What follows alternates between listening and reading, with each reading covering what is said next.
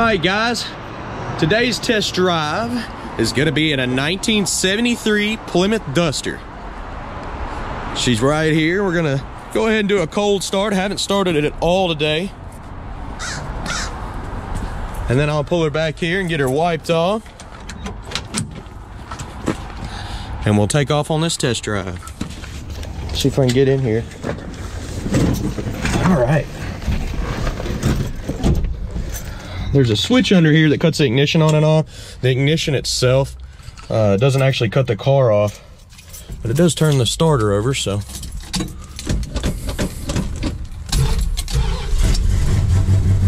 She starts up easy when she's cold.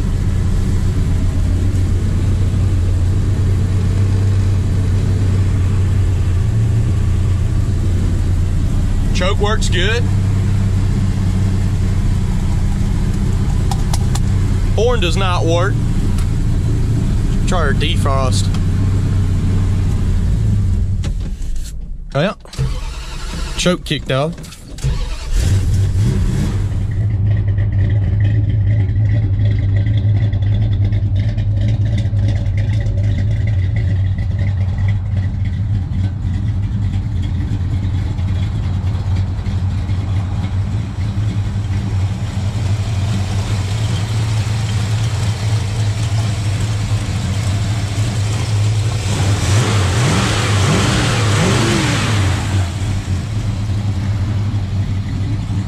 What's up guys? Welcome back to Maple Motors. Today we're gonna go around a 1973 Plymouth Duster.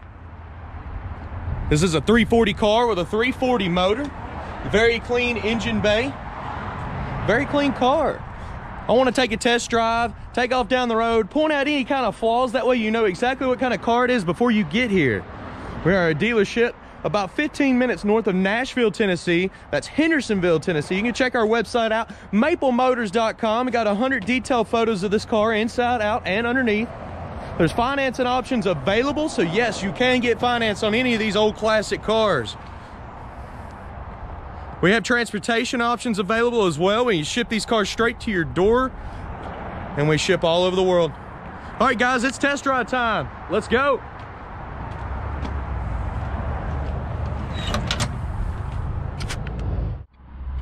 Before we take off, looking around the interior, you can see there's a little bit of scarring going on on the door panel. I'm missing some trim. Uh, try the horn. Horn doesn't work. I couldn't get the air to work, the radio work, or the windshield wipers to work. Uh, the lights, most of the gauges do come up. We'll see if the temp gauge comes up on the drive. Just peeking around the car a little bit more. That door panel over there looks better, but still missing some trim. Interior's not too bad. Carpet doesn't look bad at all. Headliner's sagging a little bit in the back here. Needs to be pinned up. Let's start it up. You gotta flip the switch down here, cuts the ignition on. As soon as you turn it, starts up. Oil pressure's coming up.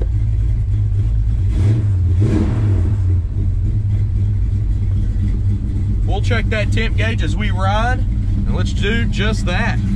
We're gonna take off, guys. Shut my door, look around. You got seat belts in here, we're gonna wear it.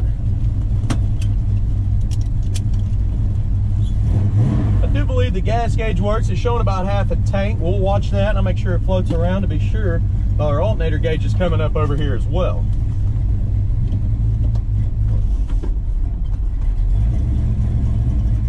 Make sure I put her in drive. Neutral's right here.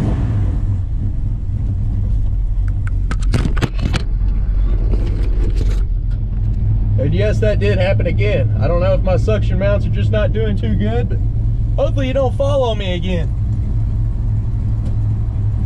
All right. Notice this window's not rolling all the way up. It might be a little bit off track. We're probably gonna get a little wind noise. We put it in drive. All right, here we go, guys. Speedometer's not coming up on this one.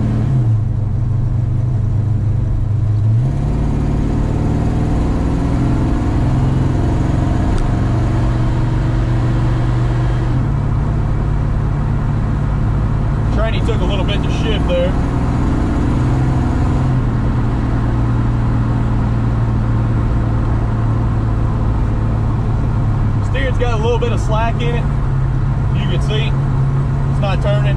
Just going straight down the road like that. About there it turns and there it turns.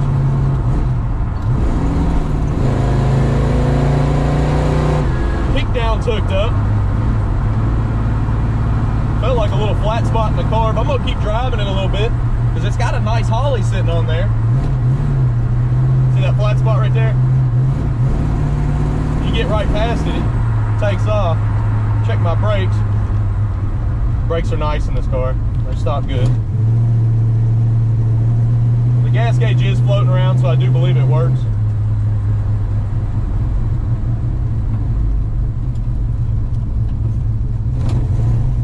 Little flat spot there again. Get past it.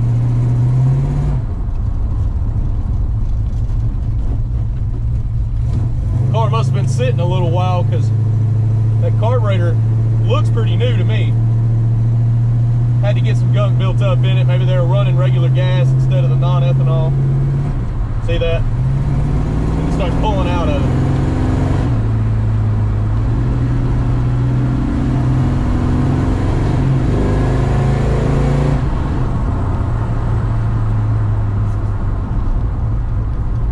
It does come to a stop fast, so the brakes are nice. Our temperature still hasn't came up on the water. I don't know if the gauges are hooked up or not. Feels like the wires are running out the back there, so.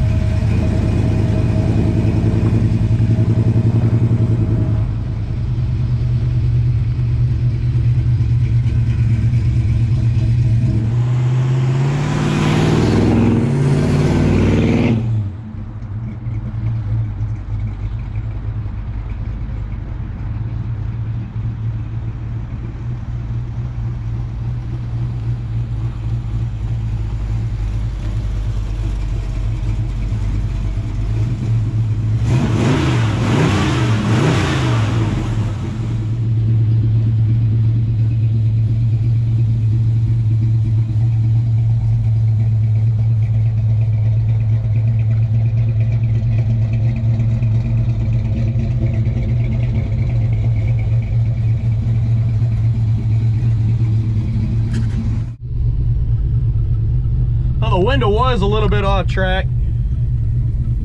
So that's gonna have to be fixed, but I went ahead and pushed it forward, rolled it up, and it went right into place, sealed up good. So we won't have any wind noise. I wanna go ahead and stick y'all up here and put you in the driver's seat. Got y'all set up in the driver's seat. This car does not have power steering, meaning if you're sitting still, it's a little bit tougher to turn. If you get to rolling a little bit, it's a lot easier to turn. I'll show you here in just a second after this car passes. Yeah, you get to rolling a little bit. Look how easy that is. You do it with one hand. If you're sitting still with non-power steering car, you're not hardly turning that wheel at all.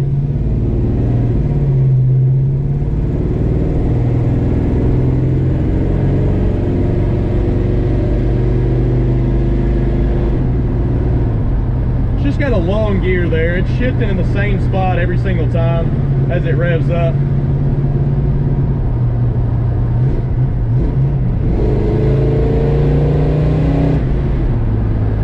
Kick down works great on this one. Still got a little bit of a hesitation before it takes off.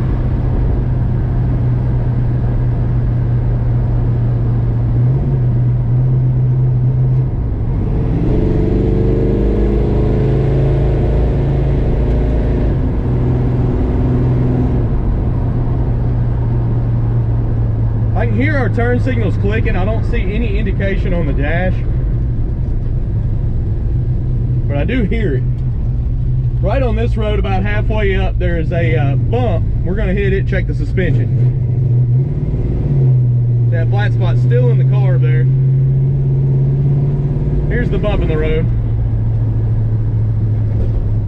Suspension's not bad at all on this one.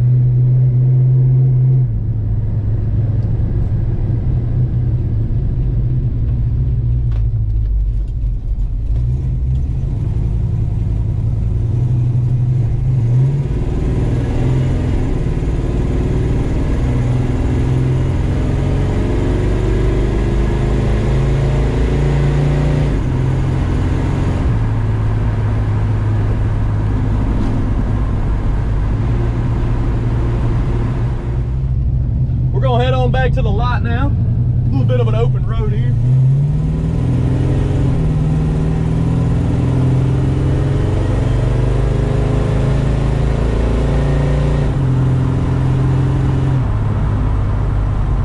Guys, hopefully I help y'all uh, out on your decision on this car. I try to describe everything that I can, and it, as I see it, we're, not, we're up here at Maple Motors. We don't hide nothing. If you can tell from this video, we'd rather you know everything about it before you get here. We have a lot of people come from out of state, and that's just how we do business. So I'm getting ready to do a walk around on the outside of the car. I want to point out all the flaws. It's a separate video from this one. All you have to do is type in 1973 Duster Maple Motors. Uh, I'm starting to put the stock numbers in all the videos because we're getting so many videos out there and we get a lot of, you know, Dusters, Camaros, Mustangs, and it's starting to, you know, add up on all the videos. And I'm also marking sold on all the old videos that have sold. Uh, I appreciate y'all watching and thanks again, guys.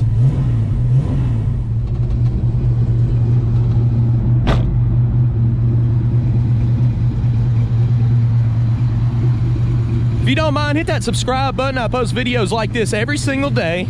You can also go to maplemotors.com for 100 detailed pictures, a brief description, financing information, and transportation options. I appreciate y'all watching, and thanks again, guys.